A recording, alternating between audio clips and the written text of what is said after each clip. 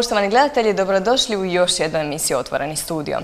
Naša današnja gošća je slikarica Senija Prebanda, članica udruge Vlahu Bukovac. Tijekom djetinstva je plesala balet, a u školi pjevanja na klaviru je pratio Oliver Dragojević. I danas u 62. godini pleše balet, a hobio je numerologija i tarot. Dobrodošli u našu emisiju. Hvala, dobro vas našla. Zaista vodite jedan osebujan život. E, evo, svašta sam sada nabrojila, ali što biste, što biste naznačili kao vašu najveću ljubav? Najveća ljubav su životinje. Njih stvarno obožavam. Sve. A sve što idem više naprijed, to ih sve više volim. Prije sam se bojala nekih životinja, prije mi se nisu sviđale neke, a sad ih toleriram, jer jednostavno bez životinja i bez prirode nema ni nas. Tako da je vjerovatno sam malo zbog godina došla malo sebi pa sam možda počela malo drugačije razmišljati. E, volim e, sve što vole više manje svi, ja mislim. Volim e, čitat, volim šetat, volim prirodu, volim plesat. Sad kad smo se dotakli ljubimaca, E, imali ste ljubimca viskija, je li to tako? Ajme, jesam. Možete nam ispričati njegovu priču, ipak trebao biti u Guinnessovoj knjizi rekorda, koliko ja znam. Još 2017. E, bilo je govora kao o tome da je najstariji pas na svijetu. Onda 2017. on je trebao popraviti biti najstariji živući pas na svijetu. Prijavila sam ga bila za Guinness, ali vjerovatno dosta kasno. I u vrijeme dok su mi odgovorili, on je nažalost preminuo. I ja poslije toga nisam više nastavila to dalje jer sam bila malo previše tužna. Ipak smo bili previše dugo zajedno. I tako. Kad sam ga uzela imao je godinu dana. Nikad nisam očekivala da će toliko dugo živjeti. Jednostavno nisam na to obraćala pažnju. Mi smo praktički bili svaki dan zajedno. On je bio nevjerovatan. Kad me vidio, to je bila ljubav na prvu pogled. Njega sam uzela u Italiji gdje sam već imala jednog drugog psa, jednu ženku od Maremana. I ovaj, i jednostavno smo krenili gdje sam bila ja, tu je bio on. Nije bilo trenutka da je o mene ostavljao samu. I tako smo putovali dosta, stalno izlazili vani. I godine su prolazile uopće da nismo razmišljali o tome. I ne bi ja uopće išla za tim da je on toliko star da me nisu ljudi počeli govoriti ajme koliko ti godina ima pas, koliko ti godina ima pas. Onda sam se počela ja pitati, a vidiš ja imam psa koji ima puno godina. E, nažalost, on je preminio, imao je 22 godine, dva mjeseca, 11 dana, to neću nikad zaboraviti. E, do zadnjeg dana je hodao. Do zadnjeg dana je bio živahan, on je nije više ni vidio ni čuo, ali je jednostavno bio je živ. E, njuh mu je još uvijek radio i tako dalje. Da nisam mogla, kad nije mogao hodati, je bilo vruće ili nešto, onda sam mu kupila kolica za pse. I mi smo se vozili. On je postao slavan, e, recimo, za 21. rođendan je došli iz Slobodne Dalmacije, su došli, napravili su jedan lijepi članak preko cijele stranice, baš sam bila onako oduševljena na neki način s tim i pisali su dosta o njemu, recimo kakav je bio, Šta s čim sam ga hranila? Ja sam ga hranila sa svim i svačim. On je jeo od mačke, on je jeo od pasa, on je jeo moje. Njega nikad nisam tretirala kao malog nekog psa. Uvijek sam ga tretirala kao psa, nisam ga vukla po rukama ili tako dalje. Volio je visoke plavuše. On je bio mali, ja sam ga zvala Piccolo Italijano. On je taljanac, inače porijeklom. A izgleda i, duhom? A vjerovatno i duhom. Bio je lav u horoskopu molit ću lijepo rođenje na veliku gospu 15. augusta. I vjerojatno moj gospa pomogla da toliko dugo živi. A vjerojatno i taj život koji smo mi vodili malo, više malo nomadski, jel? Na neki način. Mi smo se stalno negdje selili, stalo smo negdje putovali. Je li vam sada žao što ipak niste možda malo ranije preuzeli tu inicijativu da, za jeste, knjigu jeste, Jeste, sad mi je žao. Stvarno mi je žao jer, kažem vam, baš nisam nisam razmišljala o tome. Da, bi uopće, kažem da, nisam došla u Spidi, da nije bila ta Slobodna Dalmacija koja bi ono napisala, ima, ima 21 godinu, e, ne bi išla za tim. A moj drugi pas, ova Suri koju sam udomila, ona je bila njegov e, rođendanski poklon za 22. rođendan. pošto sam obočala uvijek stalno curu, on je volio stvarno cure. Nije plavuša do duše, ona je više crnokosa. Ali ovaj, stvarno je volio visoke pse. Vjerovatno zato što se odgojio bio sa tim mojim, s tom mojom curom. Kad sam ga uzela i njega i onda je s, s njom stalno, ona je bila visoka plavuša, kako bi rekla, bila je bijela. Ja Sada brojite i više kućnih ljubimaca, ali tako? Vidi se da ste veliki ljubitelj životinja. Što možete reći o tome, o zaštiti životinja? Ajme, e, ja sam e, živjela dugo u Italiji i izborili smo se napakon Italiji da životinje su ipak zaštićenije. Tako recimo da sad psi mogu ići svugdje, po hotelima, po ustanovama, po bankama, po plažama, po autobusima i prevoznim sredstvama. Ovdje u Splitu ima jako puno pasa, ali je dosta kaotična situacija. Ima loših vlasnika, ima dobrih vlasnika. Obično dobri vlasnici ispaštaju za one loše na neki način. I na dosta mjesta su ljudi, vjerovatno zbog tih loših vlasnika, su malo ljuti na ove, na, više manje na sve pse, stalno smetaju negdje i tako dalje. Tako da me, to mi najviše nedostaje, da ja ne mogu malo slobodnije kretati se Jeste li možda ovaj, razmišljali o tome da pokrenete nekakvu inicijativu u tom smjeru i da napravite nešto i po pitanju životinja? Obzirom da ste imali jednog poznatog Ja sam to sve već odradila. Sad, kako kažem, ja bih rekla na neki način da sam u, u penziji, pa pokušavam da budem u penziji sa puno toga. Iako ja volontiram jako puno sa svim ovim udrugama, humanitarnim koji su preko Facebooka najviše razimo, u vezi mačaka, u vezi pasa, pa evo, radim neke druge stvari, jel, doniram, e, pomažem recimo najviše materijalno i tako dalje, jer fizički više i ne mogu toliko. Imam tri mace još kući, koje se isto tako udomila ulične, tako da je to puno posla, znate, to vam je 365 dana u godini svaki dan. Koliko vaši ljubimci utječu na vaše slikanje? Hajdemo prvenstveno staviti, uh, reći na nekakav glavni, kao glavnu temu, e, vaše slikarstvo. Koliko vam oni znače, e, koliko vam oni pomažu u toj cjelokupnoj priči ili možda odnemažu? Pa moram priznati da bi mi mogli više manje više odnemagati jer tri mace sa slikama baš i nisu tako simpatične, jel? I zbog dlaka i oni su jako željne. One bi htjeli vidjeti sve, tako da mi je to malo teže odvojiti, pa moram odvojiti jednu prostoriju i pokušavati da oni ne uđu. Sa psom je ok, pas je stvarno miran, ona je cura koja je svak mogao poželiti, recimo na neki način, stvarno je prekrasna. Tako da s njom nemam problema, ali s macama već malo drugačije. Tako da malo odvajam. Moram zatvarati sobe i tako, iako je maca naučila čak otvarati vrata od sobe. Tako da nađem iznenađenje, koji put da nađem iz, ormara, da mi je izvadila više manje puno tih stvari, tako nađem hrpe, robe po podu i tako dalje. To su nekakve sitne anegdote, slatke priče, koliko god vas možda iživciraju u nekim trenucima, zasigurno. E, nego recite nam koliko često su upravo oni tema vaših dijela? Pa do sada nisam nešto naročito slikala životinje. Jesam u jednom periodu u Italiji je bilo, ne znam kako se desilo, pročitala sam mislim u novinama e, da se pošalju slike e, od Federica Fellinija kako voli životinje. I ne znam, ja do tada nisam slikala. Slikala sam nešto u djetinstvu, u osnovnoj školi. I onda sam uzela, slikala sam nekog pauna, nekog slona, nekog tigra, e, još neke gluposti i ja sam poslala na taj natječaj. Ali ja sam slikala sa olovkom i sa kemijskim penkalama u bojama. To nije bilo nikakvo slikanje. Jednostavno ne znam zašto me uhvatilo. Vjerojatno je postao neki razlog. I ja sam to poslala. I poslije jedno par mjeseci mi je došao paket na kućnu adresu i na paketu je pisalo prva nagrada od Federica Fellinija ti kako voliš nagradu, e, ti kako voliš životinje.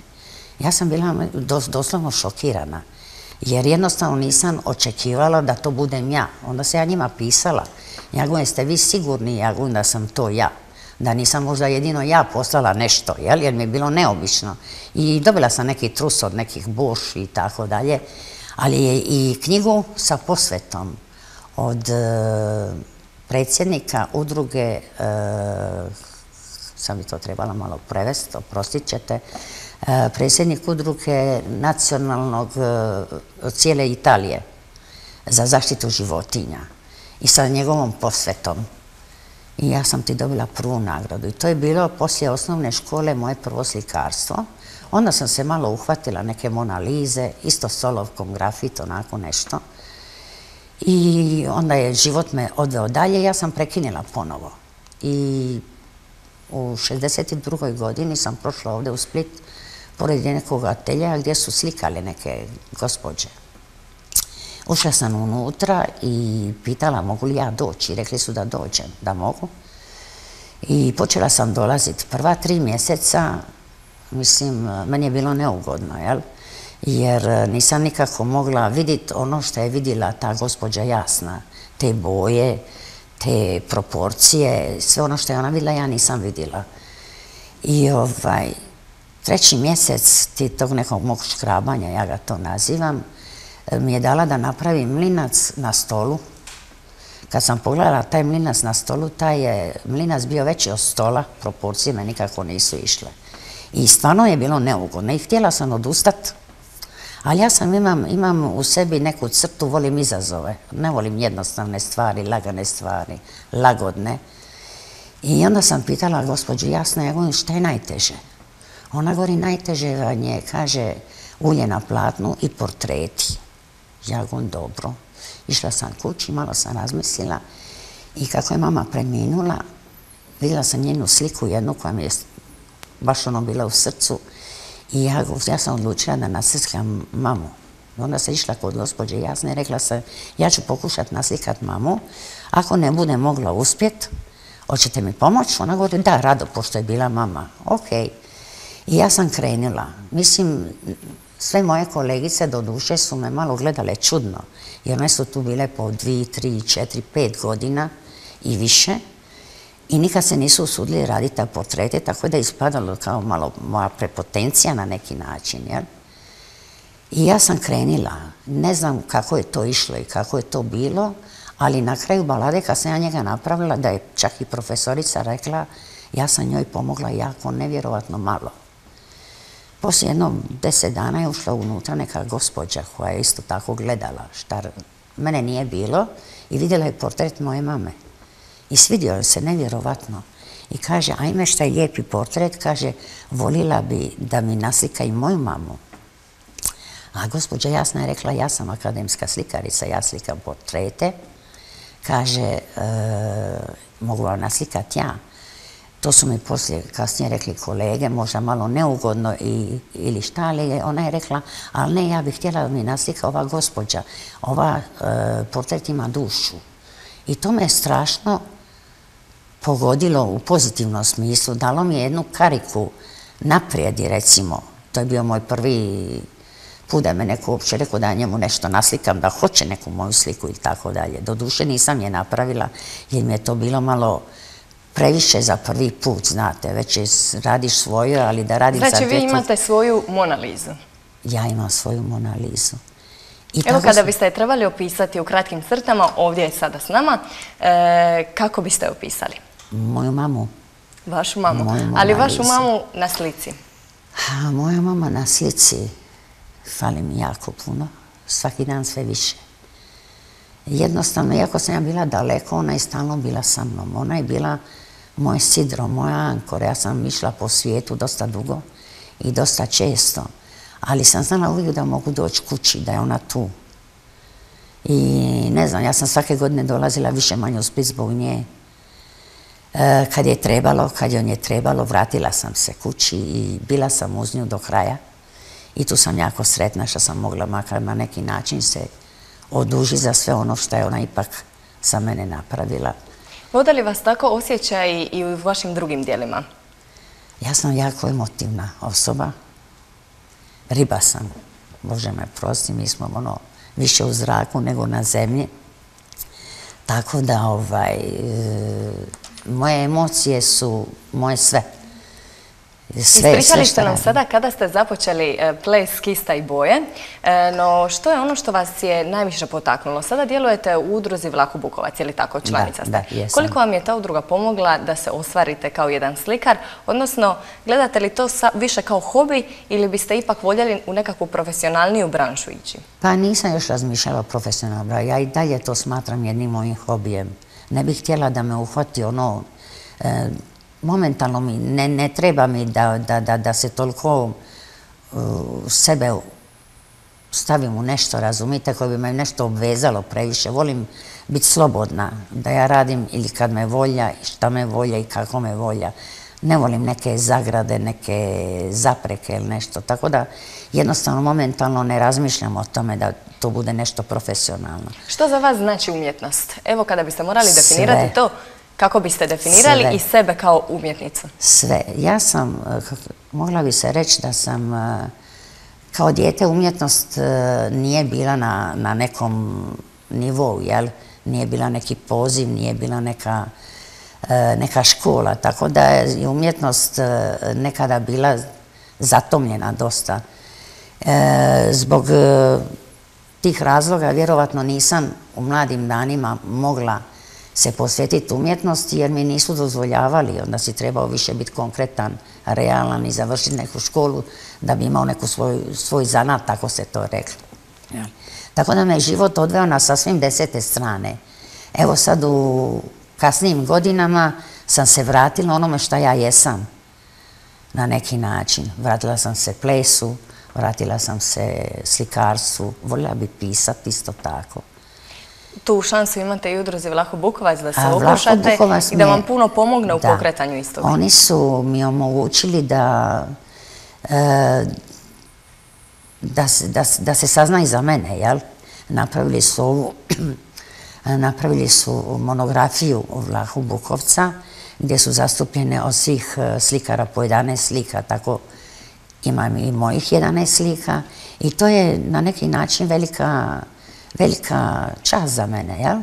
Da u ovim godinama, da imam neku monografiju i da sam ipak u jednoj uniji, Vlaho Bukovačkoj jako poznata i s tim u svakom slučaju bih htjela iskoristiti priliku i pozdraviti sve predsjedništvo i sve članove te udruge i da im zahvalim, eto što su i mene primili. Ja sam jedan od mlađih članova, tako da se ja još uvijek polako snalazim u toj grupi. još uvijek da, da. E, vaš stil, kako biste ga opisali i što je ono što najčešće birate kao teme, kao inspiraciju e, za vaše slike, odnosno koliko ih uopće imate? S obzirom da, pretpostavljam po ovoj priči, e, niste neko duže vrijeme slikali, niste se bavili tim, znači da ste tek u novije vrijeme krenuli, pa koliko vam treba za jednu sliku da je uopće izradite? Kada ona postane vaša umjetnost? Od jednog rada se pretvori u nešto što je točka na i? E, ja sam možda polako, ja idem polako, a ono što radim e, zahtjeva dosta vremena, tako da nemam neko određeno vrijeme za neku sliku. Možda nekome treba par dana, meni treba 15 dana, 20 dana. Recimo, mamu sam slikala sigurno mjesec dana. Nema neka tačka na i. Svaki put kad gledaš neku sliku misliš da bi još nešto trebao napraviti. I onda je značajno kod njih, tako kaže obično, da kad se potpišeš da onda to to. I onda jedva čekaš da se potpišeš jer bi stalno nešto mijenjao, stalno bi nešto dodao. Nikad u biti nisi zadovoljan sa onim, uvijek misliš da nešto možda još fali. Pogotovo kod e, nas koji smo tek počeli recimo, ipak nismo toliko snalažljivi, nemamo toliko iskustva na neki način. A koliko dugo vam treba za tu jednu sliku? Znači koliko vremena vam oduzima možda nekakva veća slika od one manje? Pa evo ja sam ove moje slike, najteža slika je ovi valcer.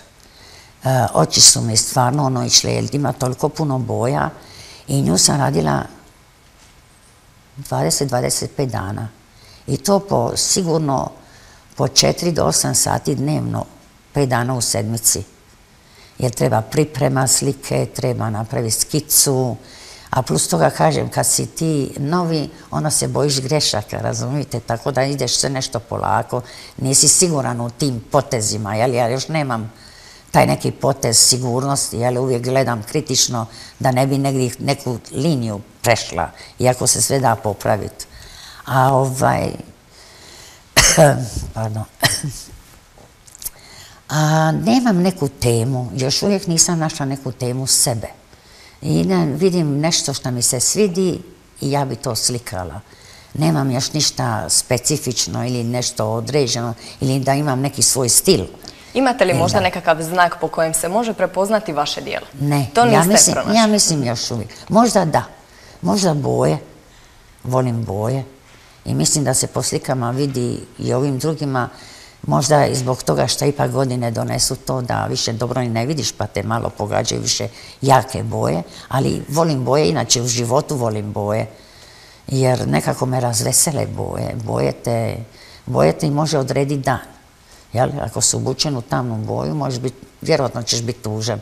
Ali ako obučeš nešto ovako crveno, to ja mislim da ti sam te potakne na neku veselo sebe, a možda i druge, i to je već pozitivno, jel? E, vratimo se mi sada malo na vaš život koji je zaista e, ste svojevrsna umjetnica, moglo bi se to tako reći, pa ste se u ovim godinama vratili i baletu, koji ste započeli kao mlade, ali tako? A isto tako spomenula sam već u najavi e, kako vas je na klaviru pratio Oliver Dragojević. Pa koje uspomene imate od tog trenutka? To bi zasigurno voljeli čuti naši gledatelji. To sa Oliverom Dragojevićem bila je vrlo po meni interesantno na neki način. Bili smo u osnovnoj školi, ja mislim osmi razred osnovne škole. I naš profesor e, muzičkog je izabrao moju prijateljicu da zastupa školu.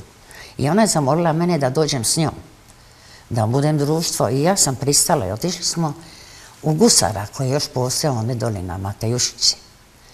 I dok je ona bila tamo na bini i dok je grupa pratila i dok je pjevala, nešto je pogriješila, a ja sam zanesenjak.